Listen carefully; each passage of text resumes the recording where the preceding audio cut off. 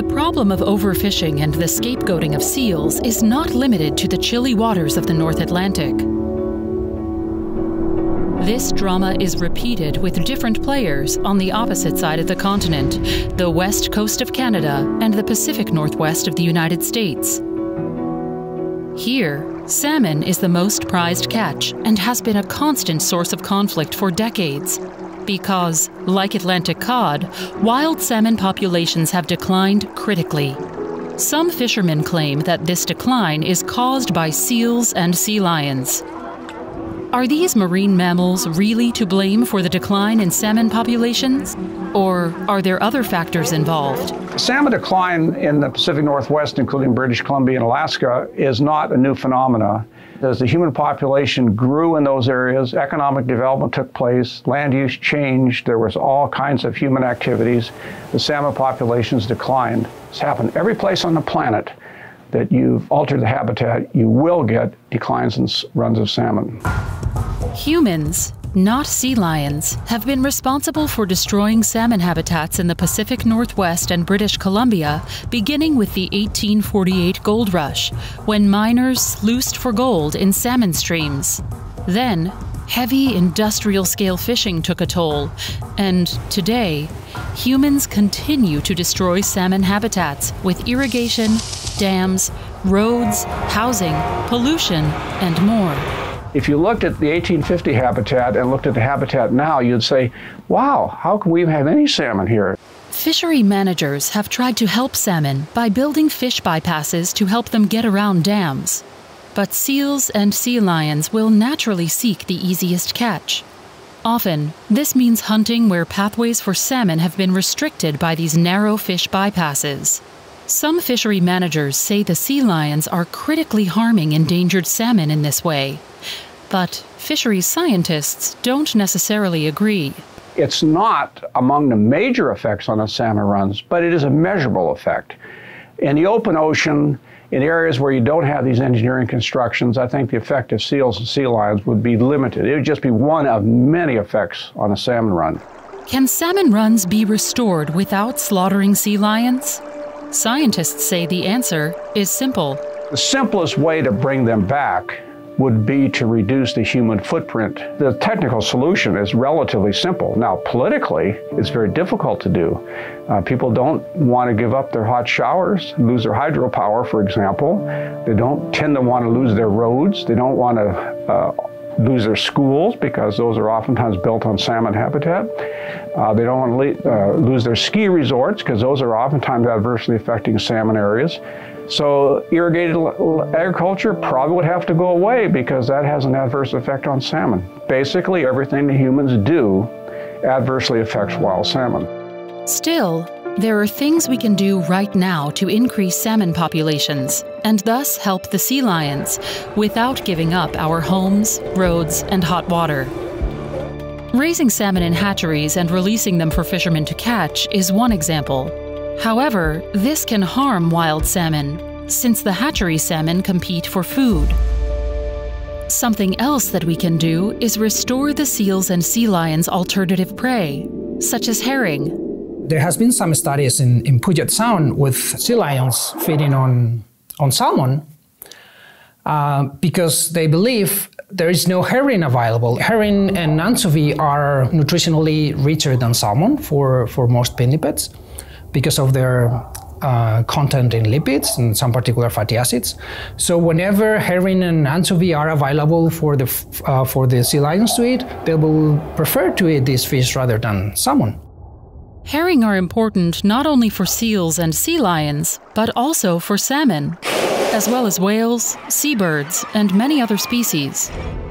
But under DFO management, the herring stock in British Columbia has crashed. Some of the loudest voices of hostility towards seals and sea lions are those of herring fishermen. These voices cry out, Kill them all! Shoot more! Keep the kills coming! They see seals and sea lions frolicking in the ocean and on shore, sometimes stealing fish from their nets and off their hooks, and they conclude that these animals are overpopulated. For these fishermen, like the Atlantic fishermen, reducing their catch is not an option. They believe that only a cull or harvest of seals or sea lions will bring back the fish. Anybody that says that seals, sea lions, anything else needs to be culled because they're eating more than their share or more than fishermen, that's a political call. That's not a scientific one. If you're looking for that to, quote, solve the problem, bring back salmon, not going to happen. But are these marine mammals overpopulated, as fishermen claim? Somehow the jargon has gotten out there that seals and sea lions are overpopulated. They're not overpopulated. I don't think there's a clear indication that any of the species in Canada currently are overpopulated in the sense that they're exceeding their carrying capacity. Most species are still recovering from previous uh, overhunting in the past. For example, gray seals are, and they haven't reached their carrying capacity yet. We typically see a nice little balance taking shape after the recovery of a species, and that's exactly what we've seen here in British Columbia with the harbor seals. We've seen a recovery from artificial lows in the early 1970s to natural historical levels in the 1990s, but that was a recovery to natural historical abundance. We haven't seen a change in the harbor seal population in British Columbia since they got back to their natural historical abundance, which is a, a striking uh, example of how Mother Nature says, there are enough of you guys. Uh, you've reached your carrying capacity. Let's let's get on with things. Wild populations will tend to to stabilize themselves uh, when they reach the, um, a certain number that the system can sustain. It's human populations, the ones that need to be managed. Though seals and sea lions are not overpopulated, could a cull still have a positive impact on the fish species?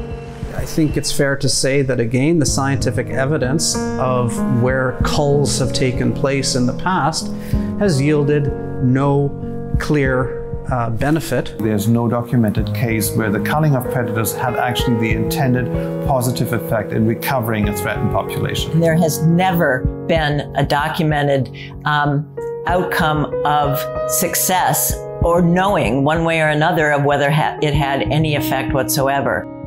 It's also impossible to predict any ripple effects a seal or sea lion cull might have on the ocean's ecosystem. It's extremely difficult and I would say not scientifically credible to predict what the ecosystem consequences, good or bad, would be from a cull of, of seals. Some people think it's a very simple solution. Less seals means more salmon, but that's entirely untrue. Less seals might mean a lot less salmon because, for example, harbor seals eat hake. Hake is a predatory species on salmon. If you remove 50% of the seals, you are effectively removing 50% of the food for the transient killer whales. The fact is that predator prey dynamics are complicated, ecosystems are complicated, food webs are complicated, and oftentimes seals are eating other fish that might be eating the baby fish of the prey that we want to harvest uh, in our own uh, fisheries. To sanction something like a cull when you know that there's no evidence that it will be effective um, is irresponsible in the face, particularly of changing ecosystems with changing climate and all the other pressures that we have put on them. The DFO has proposed culling 73,000 gray seals on the East Coast to try to help the cod. But that would go against their own seal management policy and put the gray seal population in jeopardy by their own standards. Regardless of the number of seals or sea lions killed, a cull is an experiment. The trouble is that if you remove the seals this year, it'll be three, four, five years later before you see the first returns. By the time those fish have a chance to reproduce, another three, four, or five years, next thing you know, this is an experiment that's going to take over 20 years. And anybody knows doing experiment, you need a control. What are you comparing it to? Well, we're talking about an experiment with no control, which means that it's a very dangerous experiment because by the time 20 to 30 years have gone by, and you suddenly realize, oops, it didn't work. Uh, we no longer have seals and sea lions, and our salmon are no better. Um, then what? There is no scientific evidence that killing apex predators, like seals and sea lions, will restore what has been destroyed by industrial scale fishing, climate change, and pollution. To restore fisheries and balance to ocean ecosystems, we need to reduce the human footprint. We need to realize what our impact is, not only by overfishing, but how we treat the nearshore environment, how we use our waterways, how we um, pollute our waterways, how we've changed streams and river systems. These are all direct human impacts. Our populations are growing. We're impacting more and more. We have less and less pristine areas for animals and species to recover from. So we need to be responsible. You can help seals, sea lions, and ocean ecosystems by eating less seafood or none at all, doing your part to keep plastic, other waste, and chemicals like pesticides and herbicides out of rivers and oceans and supporting habitat restoration for salmon. Contact your local representatives and let them know that culling seals and sea lions is not the way to restore healthy oceans. We've only scratched the surface in this short film.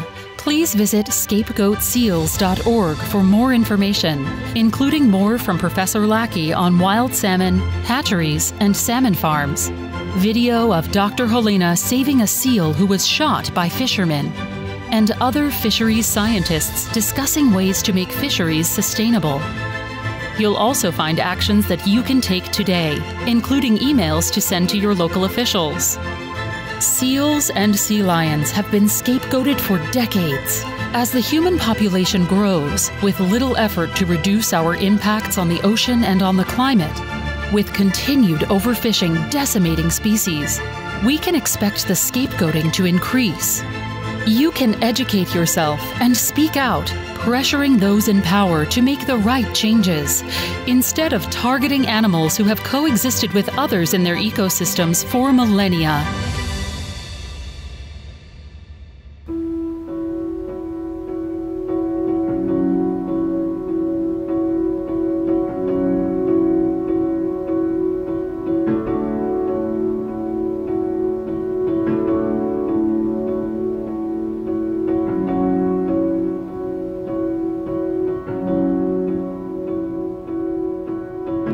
For many people. If they could have it, they would want to turn it back to the early 1970s, after the whaling had removed all the whales, after the culling had reduced seals and sea lions down to record low numbers, after the bombing had stopped of their breeding sites. Um, that's the world I'd like to see again. That's not what the world that I see out there today. I see a world full of life.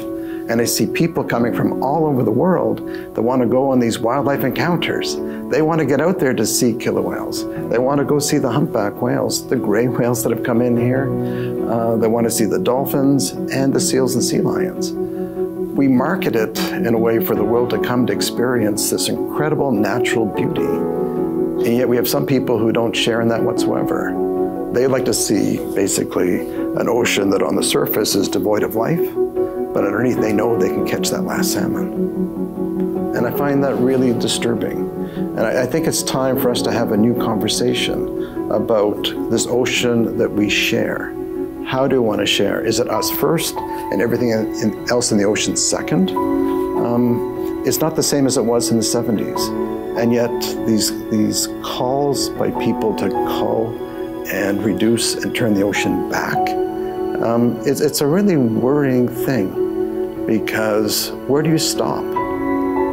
And maybe take the seals out first, but only got to get rid of the humpback whales, the killer whales. Um, the blue herons, they eat some salmon smolts. We got birds. Where do we stop? And I think it's just the tip of an iceberg of madness if we start talking about turning the ocean back to a point in time when it was clearly being overexploited. Um, but it's being done under this, I think, fairly naive belief that, but we can manage it. We've got computers and we write models and we can predict. But I think it's quite naive to think that, that we have that level of control.